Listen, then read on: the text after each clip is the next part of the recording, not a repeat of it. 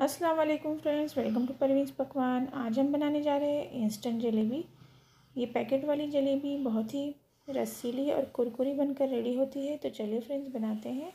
तो यहाँ पर मैंने प्रिया ब्रांड का इंस्टेंट जलेबी मिक्स लिया है। ये 200 ग्राम का पैकेट है और इसकी जो एमआरपी है, कीमत है ये देखिए फिफ्टी फाइव रुपीज़ है।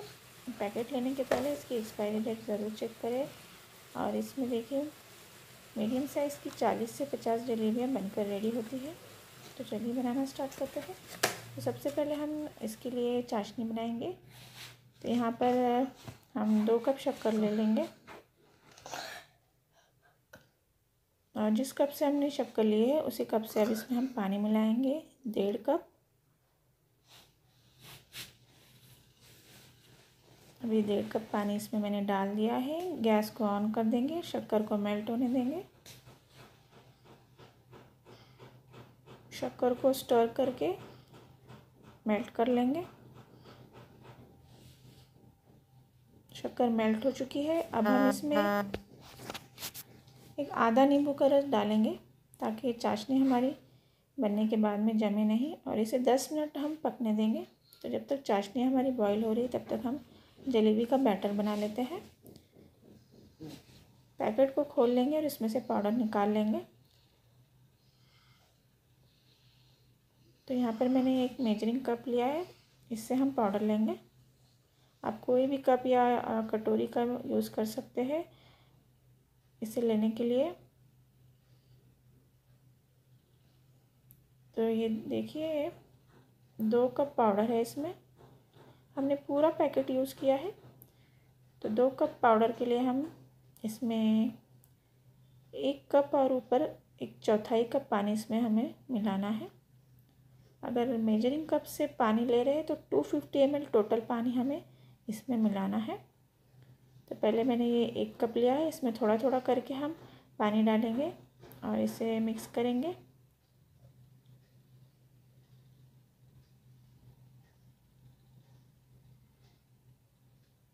इसमें हमें लम्स नहीं बनने देना है। अभी एक कप मैंने डाल दिया है। और एक चौथाई कप पानी मैं लूँगी। और इसे भी थोड़ा थोड़ा करके इसमें डालेंगी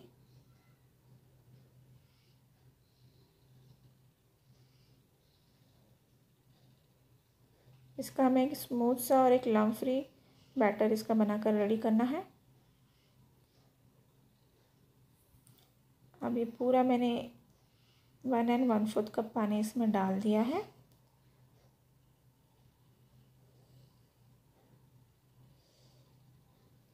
तो ये देखिए, इस तरह का स्मूथ बैटर हमें बनाना है इसका। बैटर हमारा बहुत ज़्यादा गाढ़ा भी नहीं और बहुत ज़्यादा पतला भी नहीं बनना चाहिए। इस तरह से फ्लोइंग कंसिस्टेंसी का बैटर हमें बनाकर रेडी करना है। अब ये बैटर रेडी हो चुका है। इसे ढक करके एक पंद्रह मिनट हम रेस्ट पे रखेंगे। तो यहाँ पर देखिए, हमारी चाशनी भी पक गई है। चाशनी को हमें थोड़ा सा गाढ़ी होने तक ही पकाना है। चिपचिपी देखिए शहद जैसी कंसिस्टेंसी आने तक इसे हम पकाएँगे।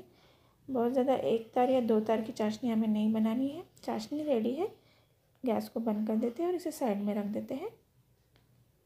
अब तेल हम गर्म होने के लिए रखेंगे। तो जलेबियाँ बनाने के लिए आप वनस्पति या फिर देसी घी का भी यूज़ कर सकते हैं। तो मैंने यहाँ पर रिफाइंड ऑयल लिया है।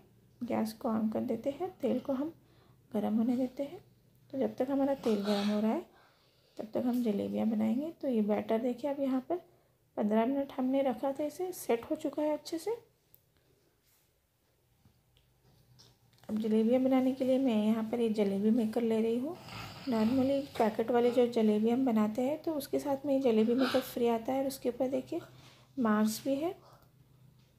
टू फिफ्टी एम तक इस पर मार्क्स है इससे भी आप पानी का मेज़रमेंट ले सकते हैं। अगर आपके पास इस तरह का जलेबी मेकर नहीं है तो आप पाइपिंग बैग का भी यूज़ कर सकते हैं, या फिर एक मोटा सा कॉटन का कपड़ा लेकर उसे ग्लास के ऊपर रखिए और उसमें बैटर भरिए, और नीचे से होल करके जलेबियाँ बनाइए। तो अभी बैटर हम जलेबी मेकर में डाल देंगे। तेल हमने गर्म होने के लिए रख दिया था।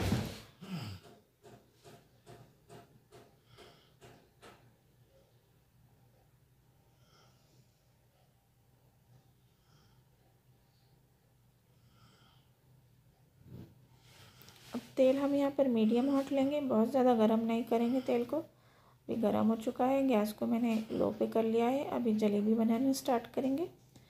तो एक बार में जितनी जलेबी कढ़ाई में बैठती है, उतनी ही हम इसमें डालेंगे।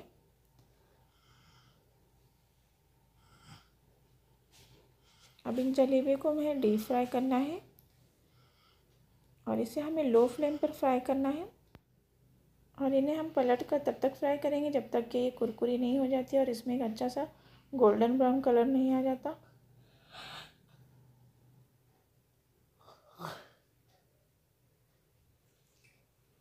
इस तरह से पलट कर हमें दोनों साइड से एक गोल्डन ब्राउन कलर आने तक फ्राई करते रहना है। तो ये देखिए, अब जलेबियाँ हमारी गोल्डन ब्राउन हो चुकी है और बहुत ही अच्छे से कुरकुरी फ्राई हुई है। बस ऐसे ही कलर हमें आने देना है और एक्स्ट्रा ऑयल को इस तरह से हमें निकाल कर इसे प्लेट में रख देना है और इसी तरह से हम बाकी की जलेबियाँ फ्राई कर लेंगे।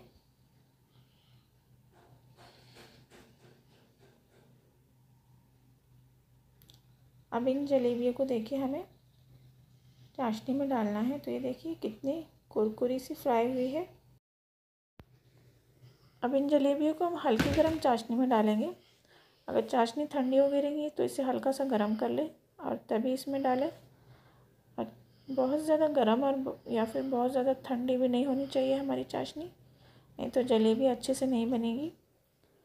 हल्की गर्म चाशनी में ही जलेबियों को डालना है। डाल करके इन्हें इस तरह से डिप करना है। दोनों साइड से पलट कर इसे चाशनी में डिप करेंगे और इसे चार मिनट हम चाशनी में ऐसे ही रहने देंगे। तो यहाँ पर चार मिनट हो चुके हैं। जलेबी ने चाशनी को अच्छे से सोख कर लिया है। और देखिए इसमें कितना प्यारा कलर आया है जलेबियों का हमारे। हमने कोई भी इसमें कलर या फिर केसर नहीं मिलाया है। और ये हमारी इंस्टेंट जलेबियाँ बनकर रेडी है। तो मैं आपको दिखाती हूँ कितनी कुरकुरी और दूसरी हमारी जलेबियाँ बन गई है। तो फ्रेंड्स आप भी ज़रूर से इसे एक बार ट्राई करें और मुझे कमेंट करके ज़रूर बताएँ आपको मेरी रेसिपी कैसी लगी और रेसिपी को लाइक और शेयर करना ना भूलें।